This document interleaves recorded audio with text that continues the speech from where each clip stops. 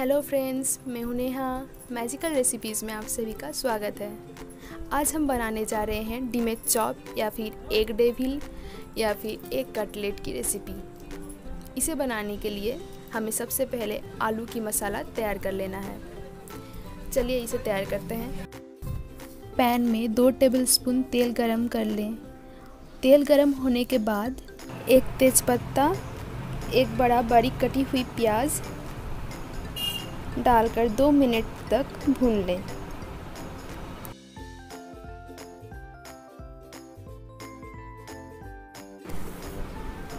दो कटी हुई हरी मिर्च और एक टेबलस्पून अदरक लहसुन का पेस्ट डालकर इसे अच्छी तरीके से भून लें।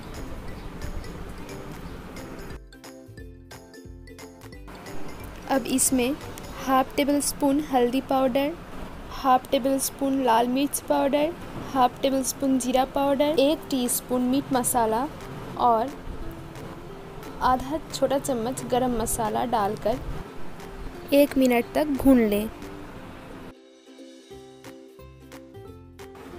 अब इसमें उबले हुए आलू को मैश करके डालें।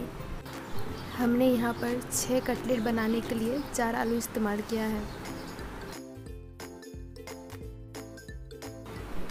इसे मिक्स्ड कर लें। अब इसमें एक टीस्पून कसूरी मेथी और स्वाद अनुसार नमक डालकर आलू को मैश करते हुए भून लें। आप किसी मैसर की मदद से आलू को अच्छे से मैश कर सकते हैं,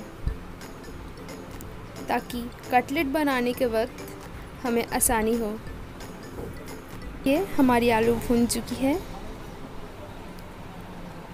आप इसे प्लेट में निकाल कर ठंडा होने दें।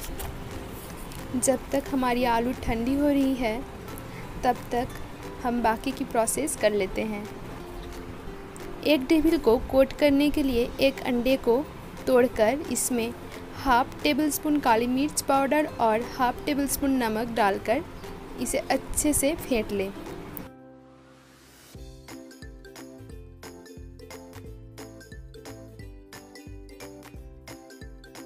नेक्स्ट एक प्लेट में एक टेबलस्पून मैदा और एक टेबलस्पून कॉर्नफ्लावर लें और इसमें भी काली मिर्च और नमक डालकर मिक्स्ड कर लें।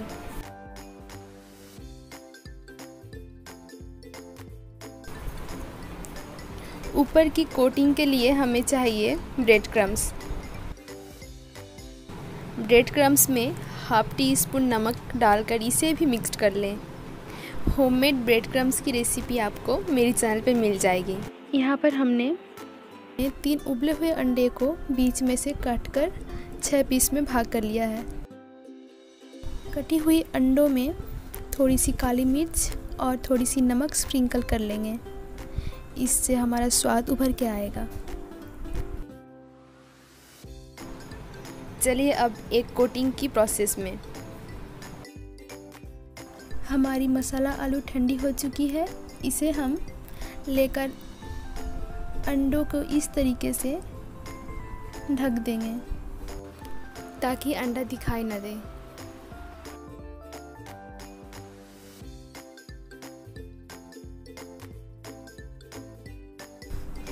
इसी तरह हमने सारे अंडों को तैयार कर लिया है।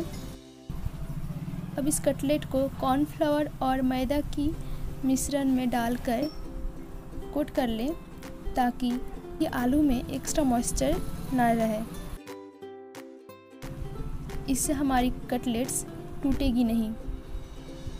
मैदे से निकालने के बाद इसे अंडे में डीप करें और ब्रेड क्रम्स से अच्छे से कोट कर लें।